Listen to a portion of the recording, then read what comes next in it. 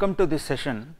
Uh, so far we had seen some basic concepts on testing and then we had looked at black box testing, various black box testing techniques and then we had looked at uh, some white box testing techniques. And we said that there are mainly two types of white box testing techniques, one is coverage based and the other is fault based. And we started looking at the coverage based testing techniques. In the coverage based testing techniques, we looked at statement coverage, branch or decision coverage, co various condition coverage techniques and then we had also looked at path testing. Today, we will uh, look at few more white box testing techniques.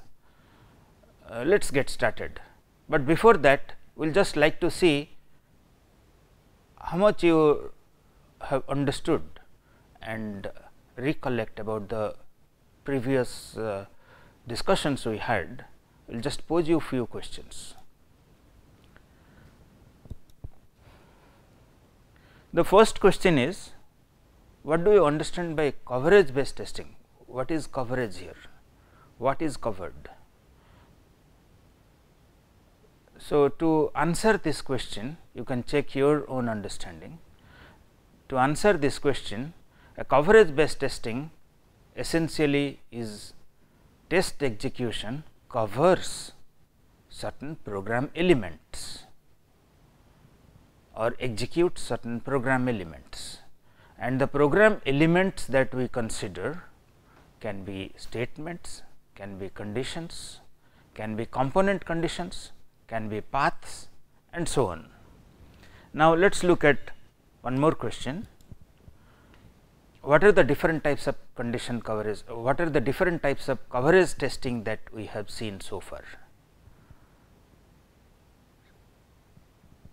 And here I hope you remember the various types of coverage techniques.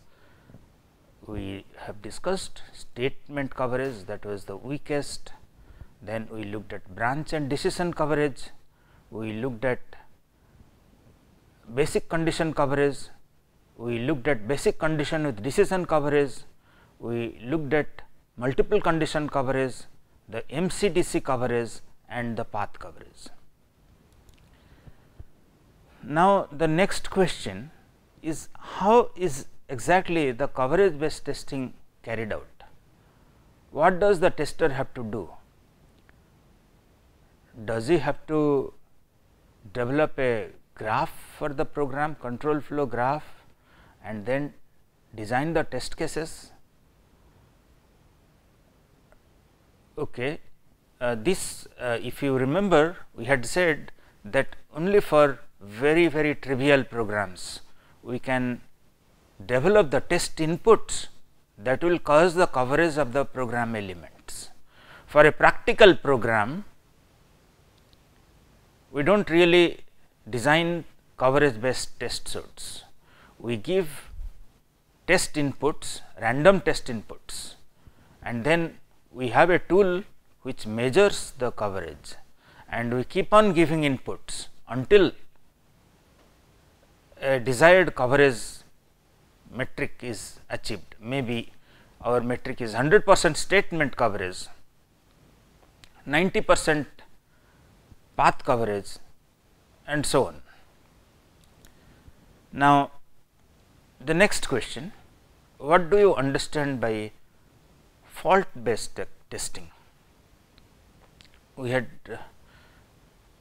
if you remember we had said that there are basically two categories of white box testing techniques. One is coverage based technique where we try to cover or execute certain program elements, whereas in the other type of white box testing we introduce specific types of faults into the program and then check whether the test cases are able to detect them. If the test cases are not able to detect them, we strengthen the test cases by adding more test cases. So, uh, we have not really looked at any fault based testing technique till now. excepting for the basic concepts. Today, we will look at the mutation testing which is a fault based testing.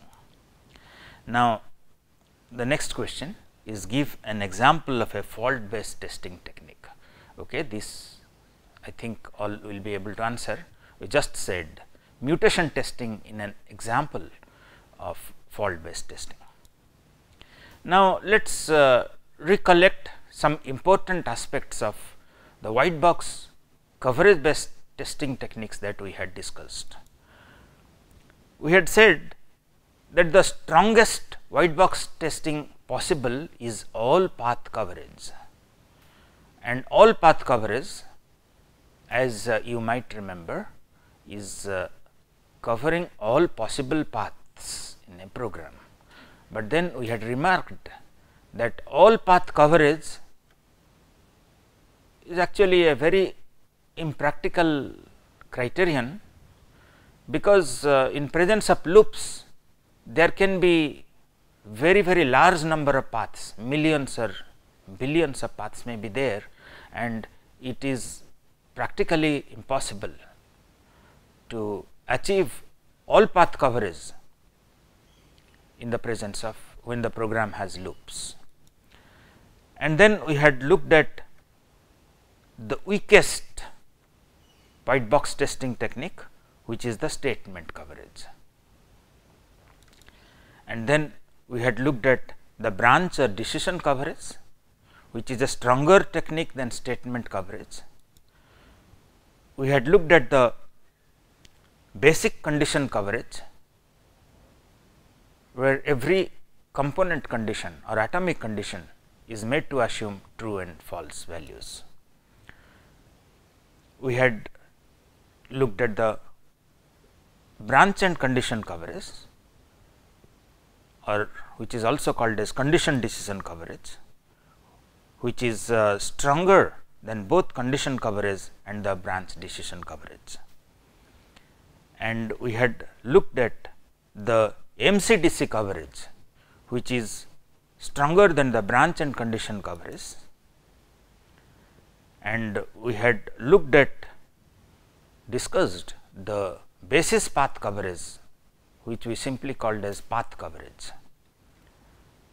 and sometimes it is also called independent path coverage in the literature. And then we had looked at multiple condition coverage which is stronger than MCDC coverage, but then we said that uh, multiple condition coverage can result in large number of test cases when the number of atomic conditions or component condition in a composite condition or a decision statement is large. Specifically, we said that if there are 10 component conditions, we will have 2 to the power 10 test cases required for multiple condition coverage and if there are 20 or 30 atomic conditions in a conditional expressions, then we will have a huge number of test cases millions and even billions of test cases required to achieve multiple condition coverage. And therefore, the multiple condition coverage is not really considered a practical testing techniques and uh, normally no one insists that a program should be tested to achieve multiple condition coverage. But what normally is practical practically important coverage techniques are the MCDC coverage and the path coverage. So, normally when a program for commercial uses or uses by large number of users is written, the tester tries to test with the objective of meeting both MCDC coverage and path coverage and as can be seen in this figure that both these are complementary test cases. Sorry complementary testing. What we had what do we mean by complementary testing we had uh, defined it earlier that achieving path coverage does not ensure that we have achieved MCDC coverage. And similarly, if our test suit achieves MCDC coverage does not mean that we have achieved path coverage. So, it is a good idea if you are testing a program which is going to be used by a large number of users as do most of the software industry. They test their program using two important techniques the MCDC testing and the path testing. Now, let us look at one more important white box testing technique which is called as data flow testing. Here in data flow testing the main idea is that we have test cases such that the definition and uses of variables are covered. So, the test cases are defined or we define paths through the program based on what are the locations of definition and use of specific variables. Let me just repeat that the location of definition and use of specific variables define paths through the program. This is unlike the path coverage which we had discussed where the paths were defined on the control flow graph. Here the paths are not defined on the flow graph, control flow graph, but here we looked at what how does the data flow or where, where are the data definitions and uses occur? And based on that we define the path. Just to give an example, uh, let us look at this C program. And here as we can see in statement 2 A is assigned 5 or we say that statement 2 defines variable A. And then we have statement 3 which has a uses of variable C, statement 4 has uses of D, but if you look at statement 5 we have uses of variable A. So, definition of variable A occurs in statement 2 and the variable A is used in statement 5.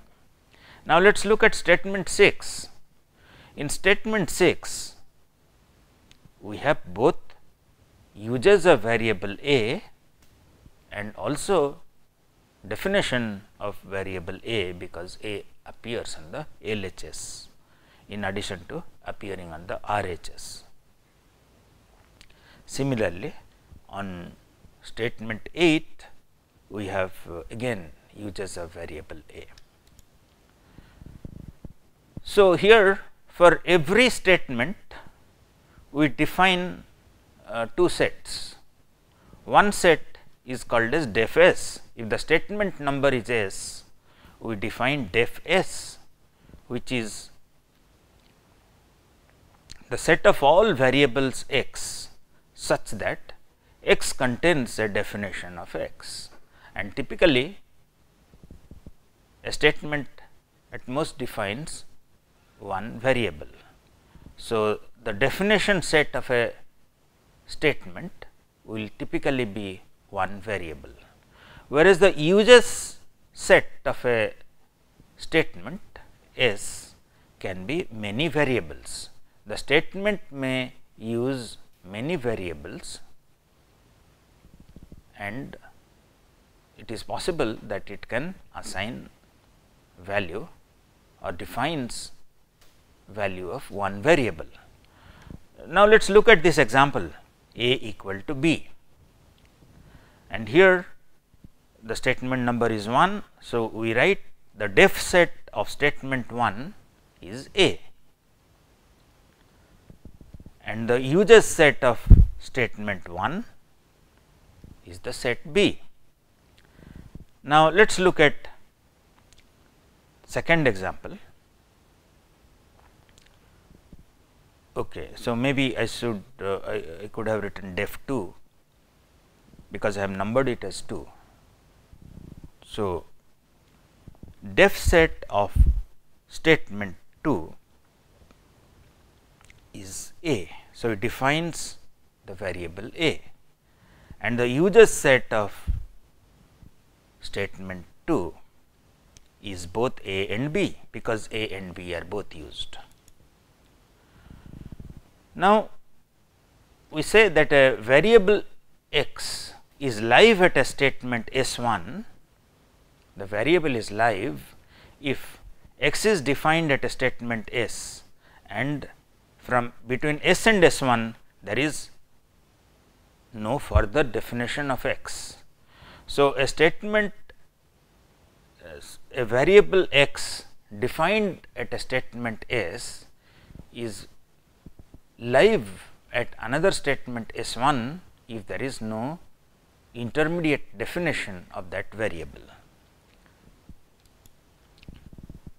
Now, let us see with respect to an example if a variable is live or not. So, this is the definition of A and this is the uses of A and there is no intervening definition of A and therefore, the definition of the variable A is live at statement 5 and is also live at statement 6, but then it is not live. The definition at 2 is not live at statement 8 because it has been redefined in statement 6, but the definition of A at 6 is live at statement 8.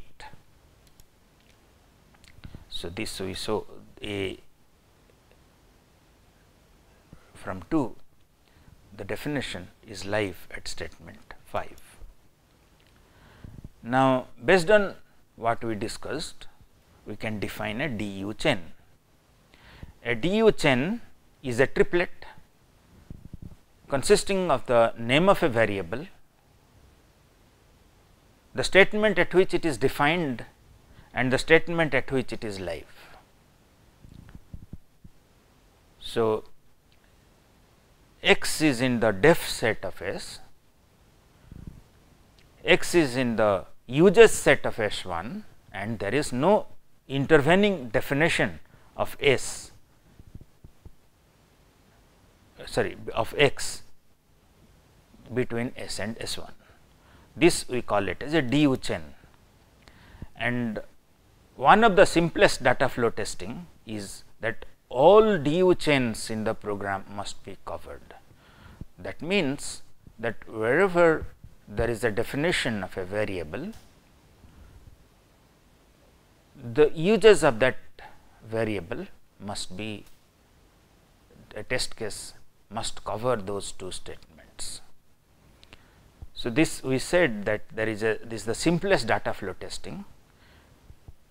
There are other data flow testing criteria more advanced criteria, but we are not going to discuss those. We are just looking at the basic concepts of data flow testing and the simplest data flow testing technique, which is the DU chain coverage.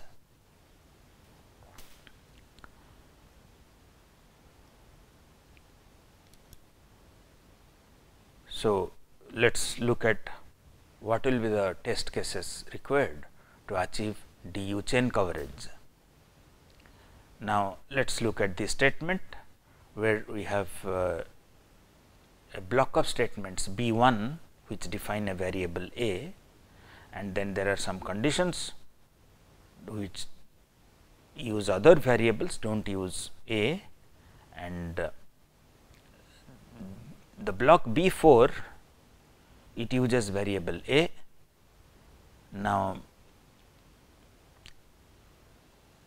there are other variables as well and based on that we can compute the DU chains. For the example that we uh, discussed, A is a variable defined in block 1 and used in block 5 and this forms a DU chain. Now, assuming that x okay, the st statement is used in different blocks, we will have a large number of chains and but then we need only a few paths to cover these chains because multiple chains can occur on different control flow paths. Now, let us look at another white box testing technique which is the mutation testing and we had said that mutation testing is not a coverage testing, but it is a fault based testing technique, where we introduce a specific type of fault into the program and then check whether the test cases are effective against that type of fault. If not, the test case will be augmented with additional test cases to strengthen the test suite. So, that the specific type of fault will be detected. Now, let us look at the basic idea here. In mutation testing, first we use certain coverage testing techniques and we have some test cases to achieve coverage of uh, some coverage technique. So, an initial test suit is designed using some white box coverage technique we discussed. Now, once the initial testing is complete, the initial testing may be MCDC testing uh, or maybe path testing or maybe both. And once we have tested using this,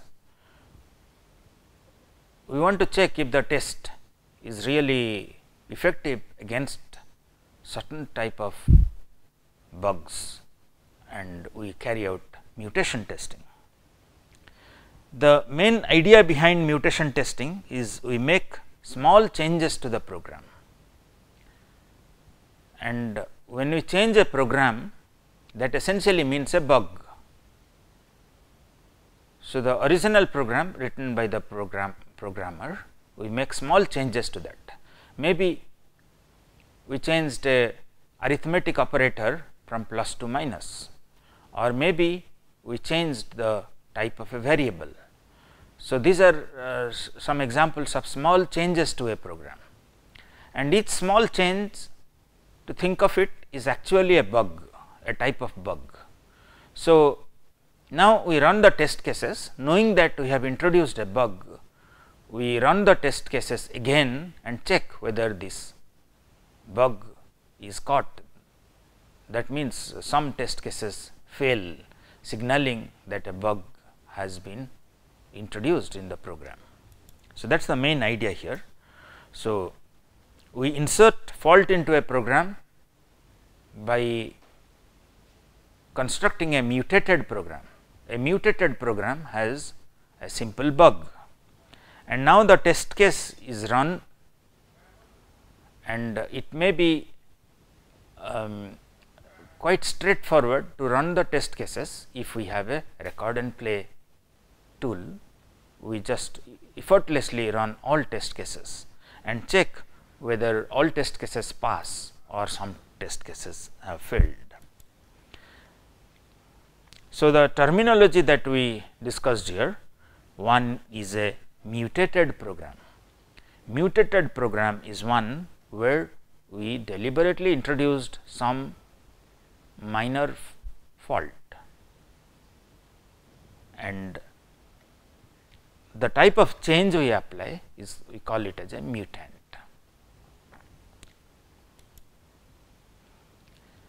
Now, if we have this uh, mutated program and we run our test cases and then some test cases fail, then we know that our test cases are actually testing well they have caught the bug we introduced and we say that the mutant is dead.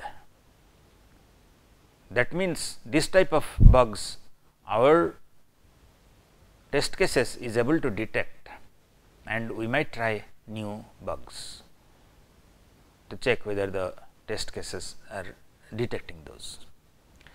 But then if all test cases pass and we know that we had introduced a bug, then our test cases are not good enough. We need to augment our test cases, add additional test cases until the bug that we introduced gets caught. So, if the test cases pass